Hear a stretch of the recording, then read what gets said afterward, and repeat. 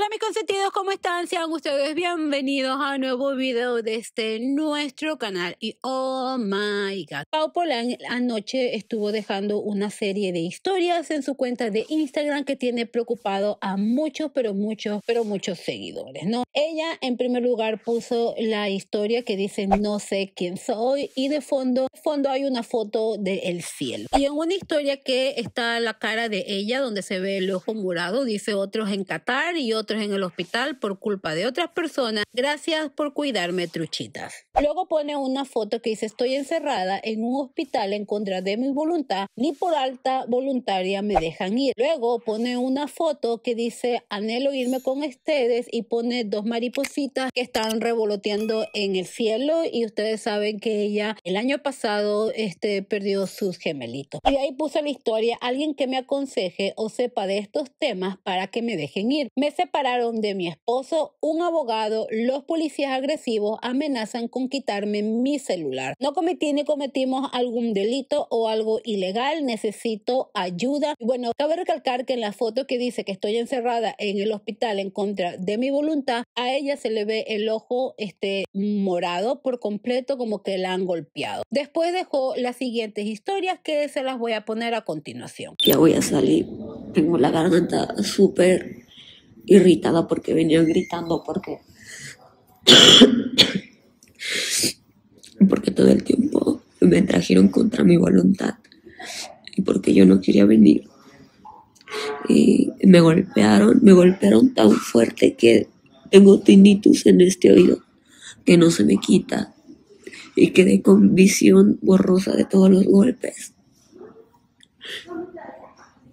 y no dejan subir a mi esposo a la ambulancia. Yo estoy hasta la Ciudad de México.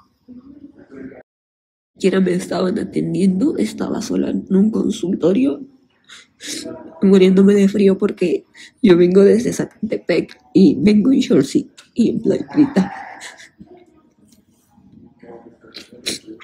Y yo quería llamar a alguien para que me ayudara pero se metieron luego, los policías así súper agresivos a decirme, no, usas el celular, te lo vamos a quitar, no te puedes ir. Y si intentas hacerlo, te vamos a agarrar con la fuerza.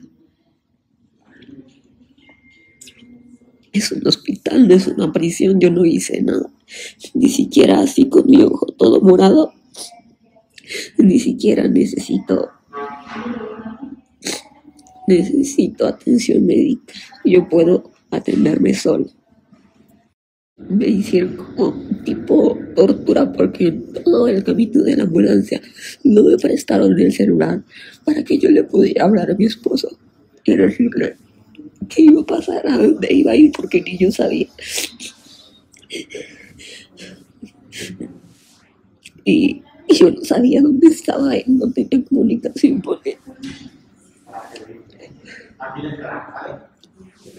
yo me quiero ir. Y saben qué es lo que me voy a regresar en la misma ambulancia por protocolo. A las personas que me hicieron todo esto, que yo sé que van a ver esto, no voy a perdonar nada. No van a contar con verme nunca más. Que yo hice todo cuando lo tuve todo. Y que es muy injusto. Pero esas personas jamás, jamás me las voy a volver a aceptar en la vida.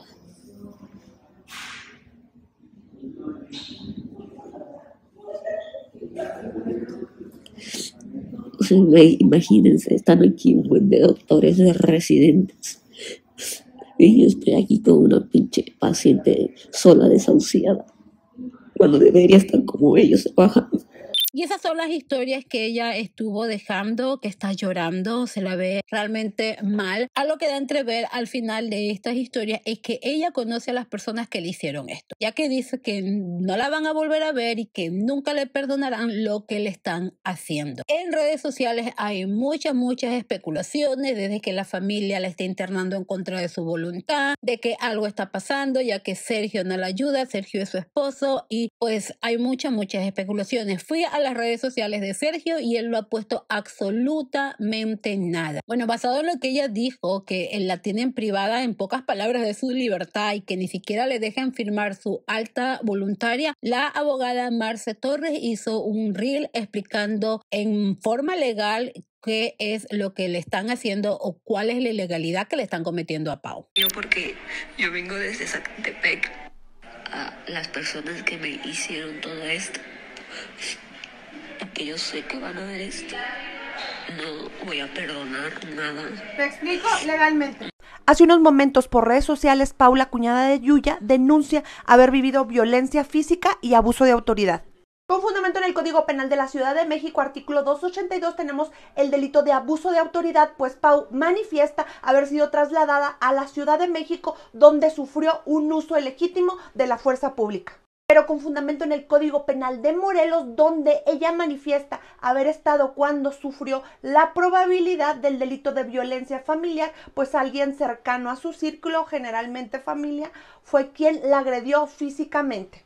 Este delito en Morelos se persigue de oficio y se da cuando un miembro de tu familia realiza actos de poder u omisión intencionalmente dirigidos a dominar, someter, controlar o agredir de manera física en este caso.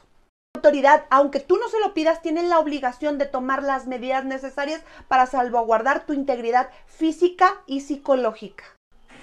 Y no dejan subir a mi esposo a la ambulancia. Yo estoy hasta la Ciudad de México. Romper el círculo de la violencia no es nada fácil. Bueno, eso fue lo que nos indicó la abogada Marce Torres. No hay mucha información al respecto, más que muchas especulaciones alrededor de todo esto. No es la primera vez que ella se la ve con un golpe. Ya anteriormente, eh, creo que hace meses atrás también pasó lo mismo. No se sabe absolutamente nada, pero esperemos que al momento se encuentre bien. Voy a estar pendiente de las redes sociales para tratarlo de mantener al día. Estén atentos en mi cuenta de Instagram, que apenas tenga una información les estaré subiendo un reel por allá, ¿ok? En pantalla les aparece mi cuenta de Instagram, toda la fuerza y todo el apoyo para Pau Polay. No es nada fácil lo que ella ha estado viviendo esto, este último año en sí, desde que perdió su gemelito. Y la verdad que da mucha, mucha, pero mucha pena verla cómo se encuentra eh, con ese golpe en el rostro en este video. Bueno, como les dije, les mantendré al día de toda esta situación y muchas oraciones para Pau y su familia. Y la verdad que se la ve muy mal y espero que después de todo esto, este busque también ayuda psicológica para superar todo este mal momento.